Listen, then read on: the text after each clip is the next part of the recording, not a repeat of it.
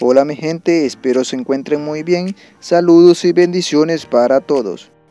En este video les traigo un nuevo avance de café con aroma de mujer. Lucía le pregunta a Sebastián, ¿y si te quedas esta noche conmigo? Una nueva vida cambiará la vida de todos. Después que Gaviota va a su cita médica para ver cómo está su estado de embarazo, regresa a su casa y le dice a su mamá, yo también hubiera querido que en esa cita fuera Sebastián el que estuviera ahí. Leonidas escucha lo que le dice Gaviota a su mamá y se pone muy pensativo. Más adelante vemos que Gaviota abraza muy felizmente a Leonidas. Por otro lado, Lucía le dice a Sebastián, mira, toca, el bebé se está moviendo.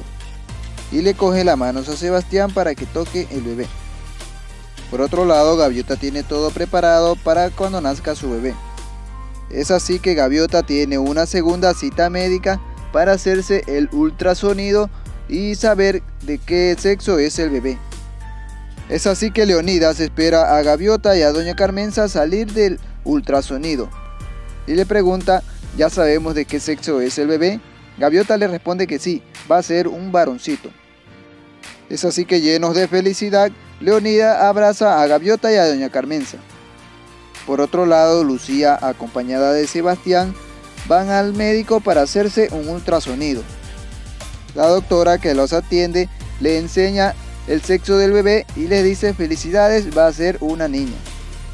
Lucía, mirando a Sebastián, se pone muy contenta. A pesar de que ese hijo no es de Sebastián, Sebastián también está muy feliz.